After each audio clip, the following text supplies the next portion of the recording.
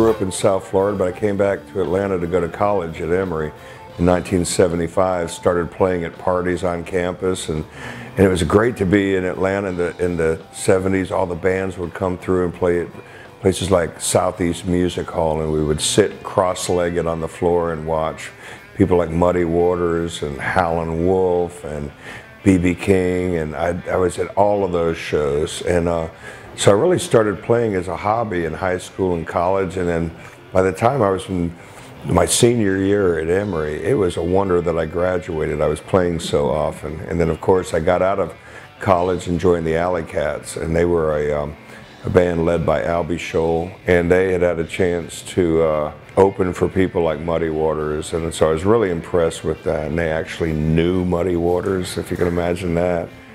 I can't imagine what that would be like. But uh, so I, uh, when I graduated from from Emory, uh, I joined the Alley Cats and went immediately on the road with them, and we had a seven seven guys on the road, and sometimes we made such a little amount of money that we'd get one hotel room.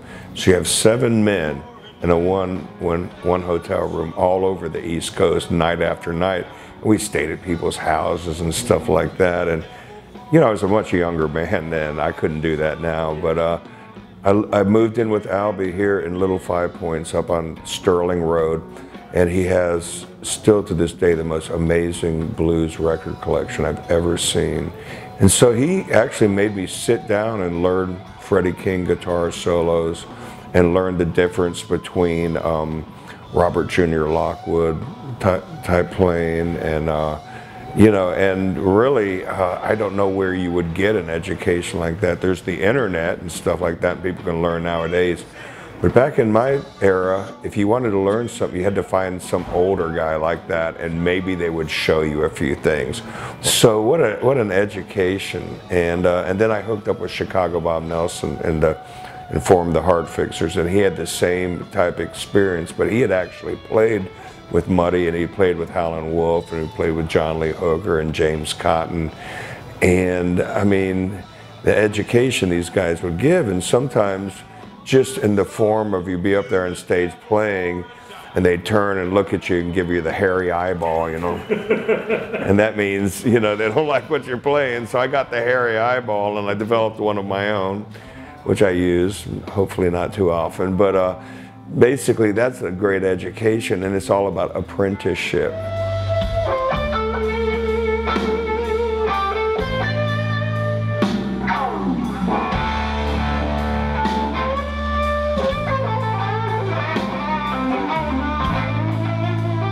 This was in the 70s, late 70s, when there was no blues scene at all. There was no Stevie Ray Vaughan, and it was after the Allman Brothers had been, uh, you know, big. And so it's really kind of in between years. It was really a struggle. So I always like to say that we played blues because we liked the music. There was no money in it that was ever going to made. Nowadays, you get into it because there's been somebody like a Stevie Ray Vaughan or a Kenny Wayne Shepherd or Jonny Lang who has had hit songs but none of that existed when I first started playing in the late 70s and playing in blues bands.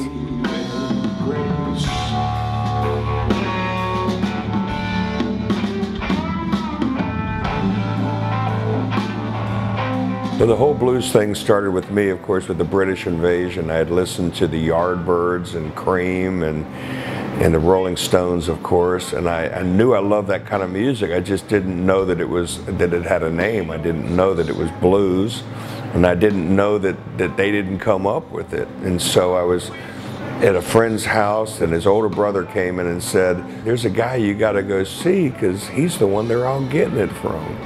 And he said, "You got to go see B.B. King." And so it came at a time where. Uh, where B.B. King was playing week-long engagements at uh, hotel lounges. So he was playing in North Miami Beach at a place called the Marco Polo Hotel in the lounge. And this place held maybe 150 people. He played there every night of the week. B.B. King put on an amazing show and all of a sudden I could see where Duane Allman and Eric Clapton and Mike Bloomfield and Johnny Winter were coming from. It was just a real turning point in my music listening and appreciation.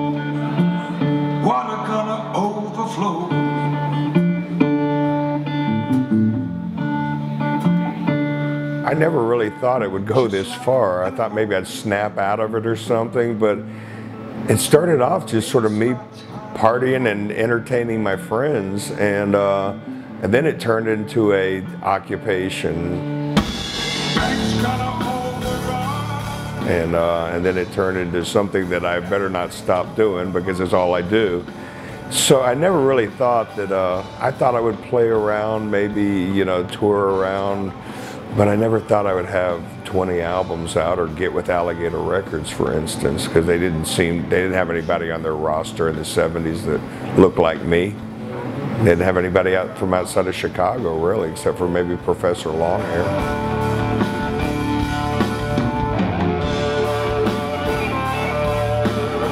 And you know, it's really great to be from Georgia because everybody wants to sound like they're from Georgia, but I actually am from Georgia, so I got that going for me. And, um, you know, to play Southern music in places where people just, they want to know everything I know about the Allman Brothers Band, or everything that I could tell them about James Brown. They had asked, at one point, they had asked James Brown, what his definition of soul was. And James Brown said, uh, soul is being comfortable with where you came from. So I'm a proud Georgia artist. My friends move away to Nashville. They do really well, but I'm staying here.